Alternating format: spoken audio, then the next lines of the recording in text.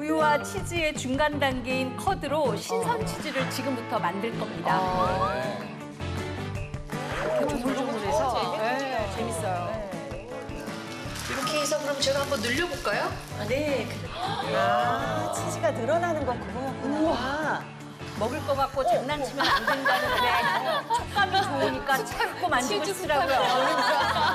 아니 진짜 애들이 너무 좋아할 것 같아요. 그렇죠. 들어가면. 어머 애들이 이거 하면 무지 재밌어 하겠어요. 어른도 좋아해요. 아 그래요? 나도 너무 재밌다. 짠! 직접 만든 신선 치즈가 완성이 됐습니다. 네. 어.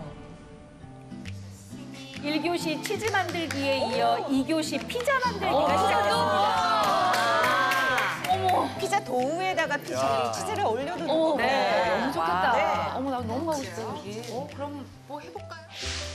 직접 만든 치즈를 활용해서 피자 만들기 체험이 가능한데요. 네. 토마토 소스 바른 도우 위에 양파 치즈만 올린 아주 간단한 요리지만 내가 직접 만든 치즈, 내가 직접 만든 피자라는 만족감 때문에 그렇죠. 아주 인기라고 합니다. 역시 음식은 자기가 직접 만들어서 먹는 맞아요. 것도 의미가 있고 참 네. 맛있잖아요. 저게 소박하지만 정성이 가득 들어간 아, 이제 기다리기만 하시면 되겠습니다.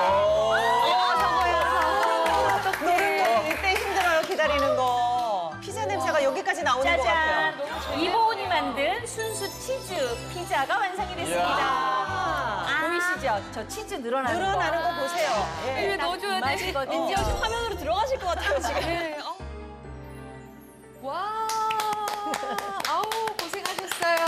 아, 영광입니다. 이렇게 한상 차림이 만들어졌습니다. 저는요 제가 만든 이 피자가 너무 궁금해요. 제가 궁금해 하셔도 돼요. 피자는 자고로 이렇게 먹어야지, 이거 먹어야지. 피자는 손맛이지. 본인이 만드셔서 더 맛있을 거예요. 선생님이 만드셔서.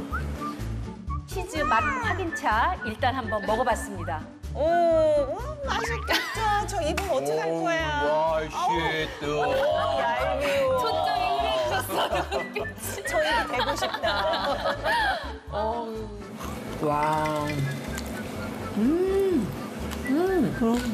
이거 진짜 맛있다. 음. 이렇게 체험을 와서 내 손으로 만든 치즈 올린 피자. 아이들, 그 다음에 가족들 다 같이 먹으면 이거 굉장히, 어, 좀, 뭐랄까, 흡족한 가족 나들이가 될 것 같아서 너무 좋은데요. 음, 맞아요. 나들이에 맛있는 음 식이 빠지면 안 되잖아요. 맞아요.